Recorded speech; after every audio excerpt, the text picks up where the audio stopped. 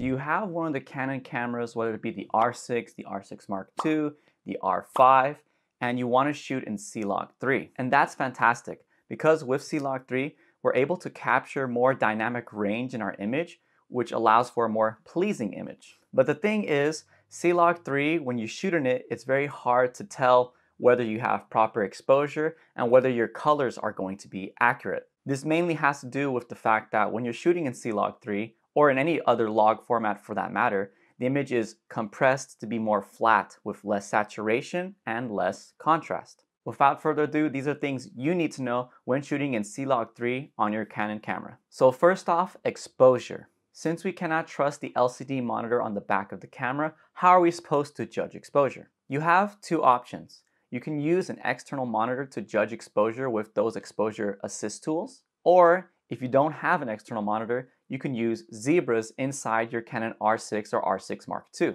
Zebras are black and white stripes that appear on your image based on the brightness value of that image. And you can actually set these zebra patterns to appear at certain brightness values. So if you're going to be exposing for people, you want to set this to 55%. When you do this, zebra patterns will only show up on the parts of the image that fall between 50 and 60% brightness. If you're not filming a subject, but rather capturing B-roll of objects, you may actually want to judge exposure by using a gray card. A gray card is something like this, and it's exactly what it looks like. It's just a gray piece of card.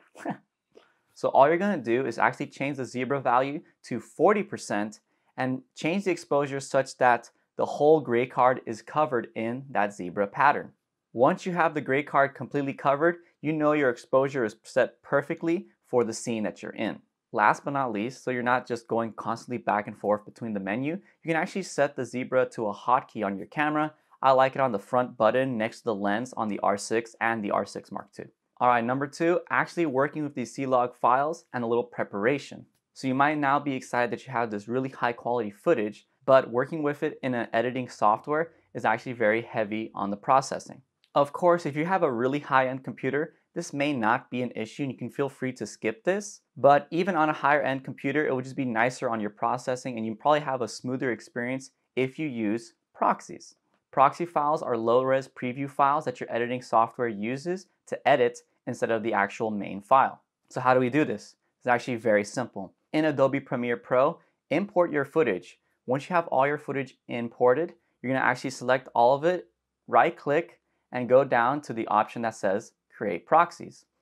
A dialog box will pop open and you can change these settings to whatever you like. I personally use DNX HDR or whatever the uh, Windows version is. You also have the Apple version, which is Apple ProRes. And I like setting the resolution to about 720 because I don't want these files to be too big either. I like also making sure to check the box that says create proxy folder next to the files so that everything's organized. Once you're done, it will actually open Media Encoder and begin uh, creating these proxy files for your videos.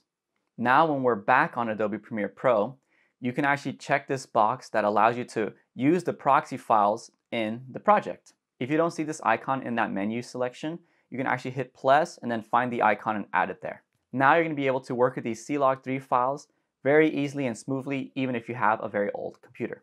Alright, and finally we're going on to color correction.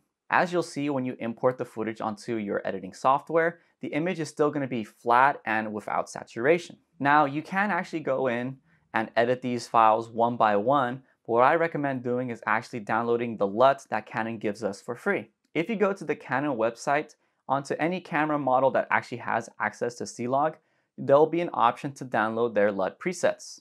Follow the instructions and download it for the proper operating system that you work on. You're going to want to move these files somewhere that you have easy access to, so I put them in my documents. Now, in Adobe Premiere, we're going to create an adjustment layer. The reason I use adjustment layers is so that I don't have to constantly apply this LUT onto every individual video, uh, video file. Instead, I apply it to the adjustment layer and then layer that over all the footage that has C-Log3. But which one do you use? When you download these files, you'll see that there's a bunch of folders with a bunch of different LUTs. Well, it depends on what you shot in. So for my settings, I actually shot C-Log 3 and in the color space, Cinema Gamut. So when you're going through the LUTs, make sure you select C-Log 3 and Cinema Gamut. And then based on what you want to convert it to, you have Rec 709, Rec 2020, and then HDR, and a few other options available. I've personally found that the Rec 709 conversion LUT looks the best. But feel free to experiment and try different options and see which one you like the best. The specific Rec 709 LUT I grabbed is actually from the 33 grid folder, which once again I think looks the most pleasant. I've tried 65 and it just didn't look quite as good. And there you have it. Now you're working with a color corrected C-Log 3 footage with a high dynamic range. Do you have any tips for working with C-Log 3? Let me know in the comments section down below. If you really liked this video, maybe check out this camera tutorial here, and I'll see you next time. Tchau!